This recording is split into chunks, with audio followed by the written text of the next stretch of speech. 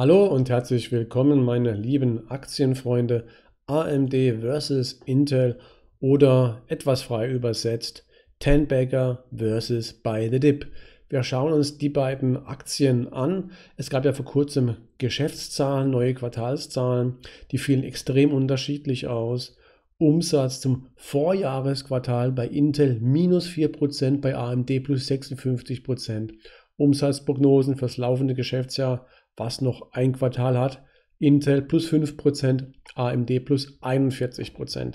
Es läuft rund bei AMD, während bei Intel etwas Sand im Getriebe ist. Stichwort Umstellung auf die 7 Nanometer Technologie. Das heißt aber nicht automatisch, dass AMD ein Kauf ist und Intel nicht.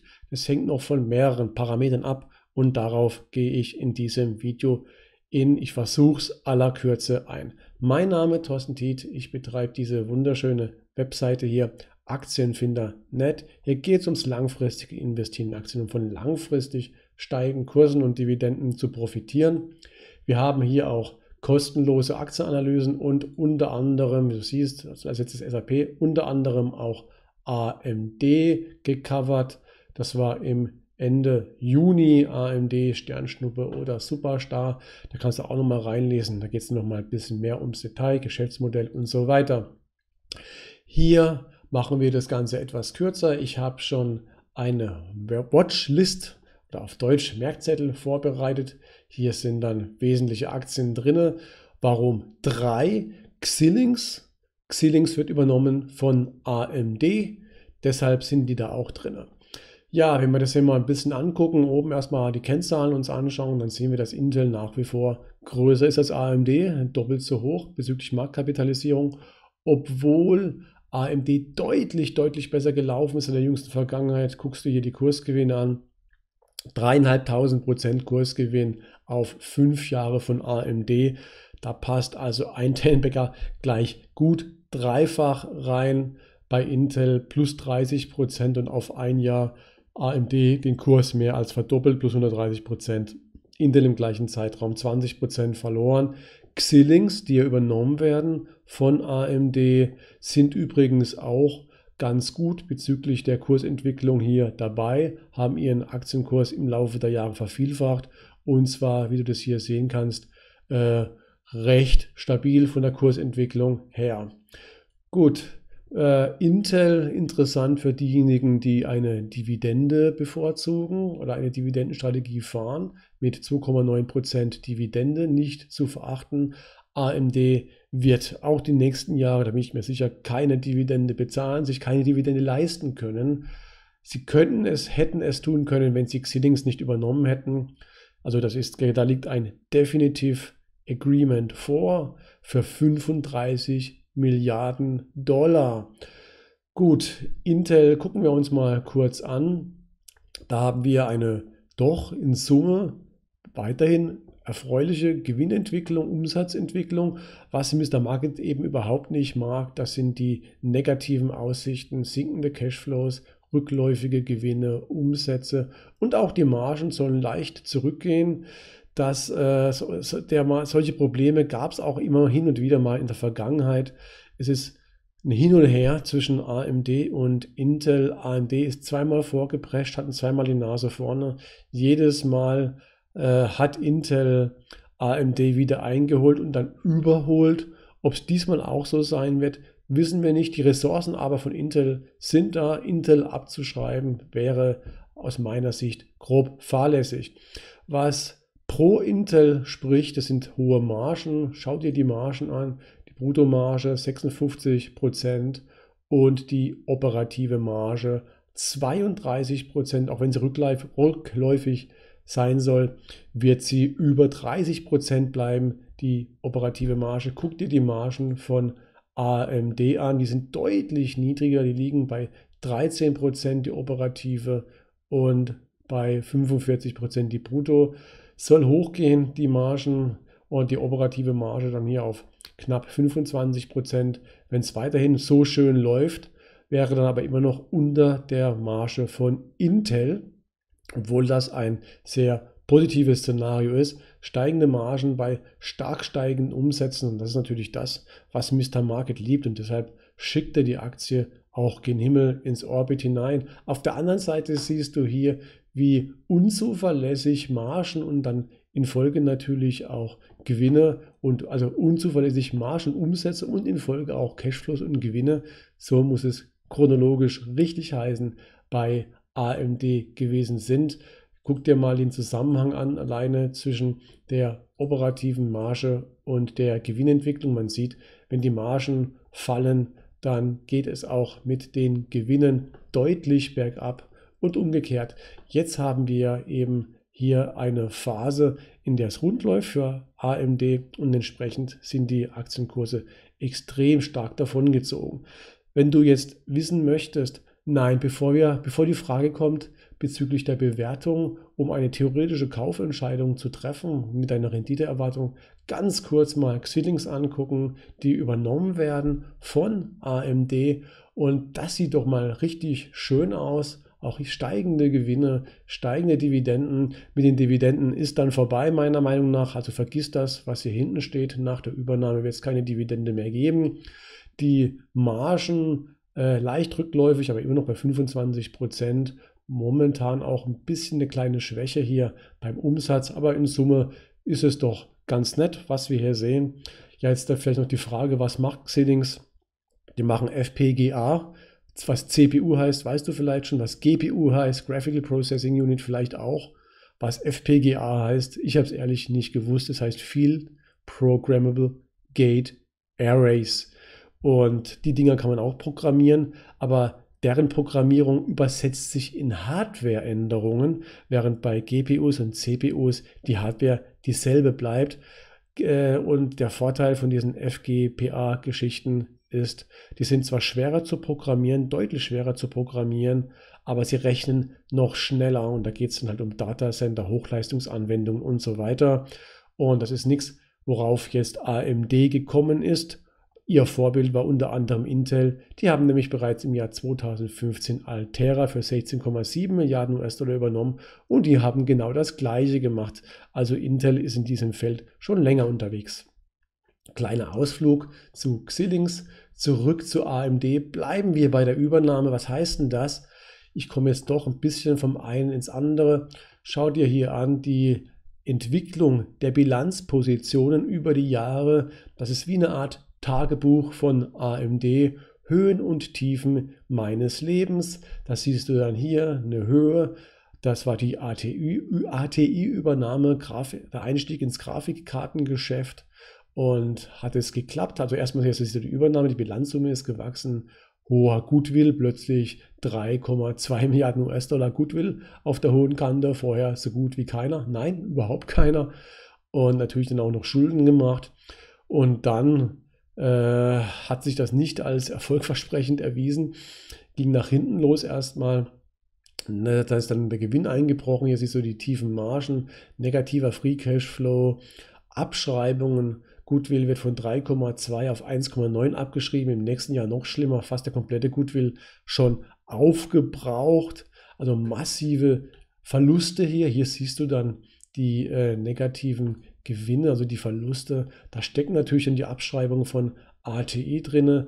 Ganz übel. Guck dir hier noch die Schuldenquote an, wie sie steigt von 50% auf fast 100%.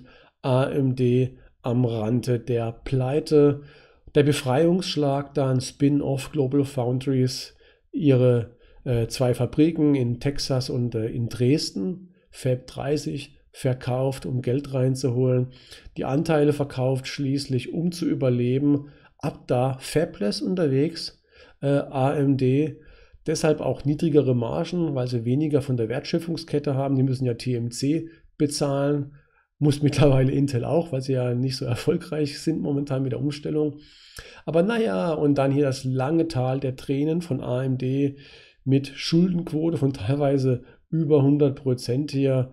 Ganz übel. Und jetzt die letzten Jahre hier, wie du siehst, geht es nach oben wunderbar, richtige Richtung. Die Schuldenquote, die Schulden werden abgebaut, Schuldenquote 85, 80 Prozent, 71 Prozent, 52 Prozent und jetzt, und es sind schon die neuesten Zahlen drin, P für Preliminary, das geht hier alles ganz schnell beim Aktienfinder. Schuldenquote von nur noch 44 Prozent und die ganze Zeit über immer neue Aktien ausgegeben, um eben nicht pleite zu gehen. Und sogar jetzt noch werden neue Aktien ausgegeben. Bei Intel genau das andere. Bei Intel werden Aktien zurückgekauft hier seit dem St. Nimmerleinstag im Prinzip und dann auch eben das Ergebnis ein bisschen verwässert im Jahr 2019. Gewinnwachstum pro Aktie ausschließlich dem Aktienrückkaufprogramm zu verdanken. Ist natürlich auch nicht so dolle, aber immerhin, du siehst es hier schwarz auf weiß. Aber hier, was die Schulden angeht und so weiter, noch eine Menge Potenzial, Dividenden hier äh, aus meiner Sicht absolut sicher, auch wenn wir hier dann leicht rückläufige ähm, ja, Ergebnisse, Umsätze, Gewinne und so weiter haben. Ja, beim einen läuft es rund, beim anderen läuft es nicht so rund. Aber das heißt noch nicht, dass du jetzt weißt, welche Aktie quasi ein besserer Kauf ist, beziehungsweise ist es noch nicht das komplette Bild. Was noch fehlt, ist zum einen eine Anlagestrategie, habe ich schon versucht zu erwähnen, und das andere ist die Bewertung der Aktie, denn davon hängt ja auch dein Risikorenditeprofil ab. Gucken wir uns jetzt erstmal die Bewertung an von Intel und da können wir den Bewertungszeitraum auch schon so übernehmen, habe ich schon mal vorgeguckt. Man lenke sein Augenmerk auf hier die Multiples KGV von 12 KGV bereinigt, also auf einen bereinigten Gewinn von 10, KCV von 7. Also das wird deutlich höher ausfallen bei AMD. Und da siehst du noch ganz klar, welche Aktie der beiden Mr. Market bevorzugt. Gucken wir mal, wie es mit dem äh, Risikorenditeprofil so aussieht. Dann holen wir uns eben mal hier die fairen Werte rein und zwar alle vier. Schön bei Intel die Gewinnentwicklung mag nicht befriedigend sein für die nächsten Jahre, aber sie läuft relativ stabil und stetig. Deshalb ein Musterbeispiel für die dynamische Aktienbewertung hier. Und dann zoomen wir mal noch ein bisschen rein. Der aktuelle Aktienkurs liegt bei 45,64 US-Dollar. Du siehst, dass die ganzen fairen Werte basierend auf Cashflows und Gewinn oben drüber liegen. Das heißt, die Aktie ist unterbewertet. Ich zoome noch ein bisschen mehr rein. Wir haben nur einen fairen Wert Dividende. Laut diesem ist die Aktie annähernd fair bewertet. Wichtiger aber die echten Cashflows bzw. Gewinne, weil das entscheidet, wie viel so ein Unternehmen und insofern auch die Aktie wert ist. Wenn du jetzt wissen willst, wie hoch dein ähm, Renditepotenzial ist, dann kannst du hier hingehen und die einen dieser fairen Werte aussuchen oder auch mit den Hilfskursen arbeiten. Ich gehe mal auf den fairen Wert bereinigt. Das wird das gleiche sein, was ich mit AMD machen werde. Und dann mal hier Prognose für 2022 hättest du aufs Jahr eine Renditeerwartung von 13,5 Prozent. Wenn du Intel bewertest mit einem KGV von 10,3 hier, das und basierend auf der Prognose des bereinigten Gewinns da soll dann wieder der bereinigte Gewinn ganz leicht Rekordhöhen erreicht haben bei 5,51, momentan bei 5,31. Also das wäre jetzt die Renditeerwartung pro Jahr 13,5 Prozent, die sich zusammensetzt aus Kursgewinnen und Dividenden, aber der Löwenanteil doch Kursgewinne. Gucken wir uns mal an, wie das bei AMD aussieht. Risikorenditeerwartung. Da ist es schon etwas schwerer. Wir haben eine sehr unstete Gewinnentwicklung. Wir haben eigentlich erst hier ab 2017, 2018 tatsächlich positive Cashflows und Gewinne. Ich würde hier nur mit dem bereinigten Gewinn arbeiten und der ist hier noch sehr niedrig ausgefallen. Deshalb war das KGV auch schon sehr hoch. Da kam aber schon der Umschwung, er wurde schon erkannt von Mr. Market.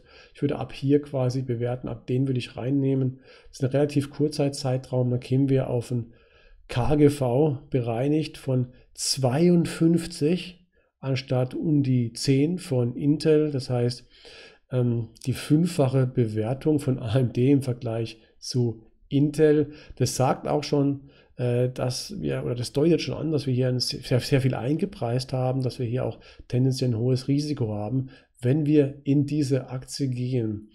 Ähm, jetzt gucken wir uns mal den fairen Wert bereinigt an. Den siehst du dann entsprechend hier. Jetzt kann ich ja noch ein bisschen mehr reinzoomen. Und dann haben wir hier den aktuellen Aktienkurs.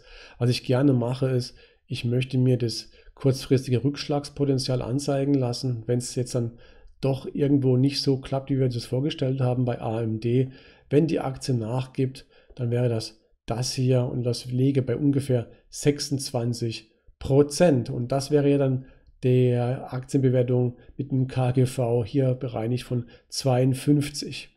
Es gibt ja diese PEG-Formel, Price Earnings Growth, wo man dann sagt, wenn äh, wir ein Wachstum haben, wenn, oder wenn wir KGV haben von 50, dann sollte das Unternehmen den Gewinn auch um 50 Prozent pro Jahr steigern, so in die Richtung. Dann käme nämlich eine 1 raus. Und äh, du siehst, dass also AMD selbst da äh, noch überbewertet wäre mit diesem Price Earnings Growth. Weil die Growth, siehst du hier, Growth bereinigte Gewinn, liegt jetzt hier tatsächlich äh, fürs Jahr 2020, das extrem gut gelaufen ist, bei 75 Prozent, aber soll dann eben rückläufig sein, 49 Prozent, 30 Prozent und dann wären so hohe KGVs schon relativ sportlich. Aber wir lassen es mal so, um herauszufinden, was, wenn es wirklich gut läuft, das Potenzial ist dieser Aktie. Und da verbinden wir dann auch, wie wir es bei Intel gemacht haben, die beiden Punkte. Der aktuelle Aktienkurs mit dem fairen Wert basierend auf dem bereinigten Gewinn. Da wäre dann die Aktie 135, 136 US-Dollar wert, würde aufs Jahr eine Rendite bedeuten von 18,6 Prozent ausschließlich Kursgewinne. Das heißt, mehr als bei Intel, wo es um die 13 Prozent gewesen sind. Auf der anderen Seite hast du meiner Meinung nach ein deutlich höheres Risiko, aber auch bei AMD, einfach weil dann schon so viel eingepreist ist. Und das muss dir natürlich auch bewusst sein. Alles nur meine Meinung und keine Kaufempfehlung. Ich möchte dies an dieser Stelle nochmal erwähnen, beziehungsweise zum ersten Mal. Gut, ich hoffe, das hat dir ein paar Einblicke gegeben, falls du dich fragst, ähm, Tenbagger oder By the Dip, AMD versus Intel. Dann bedanke ich mich fürs Zuschauen und bis zum nächsten Mal. Ciao.